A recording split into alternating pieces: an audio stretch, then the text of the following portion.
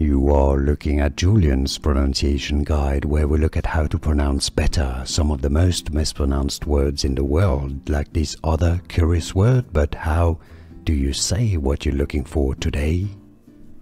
We are looking at how to pronounce this word as well as how to say more interesting but often confusing vocabulary words that many mispronounce, so make sure to stay tuned to the channel if you enjoy learning.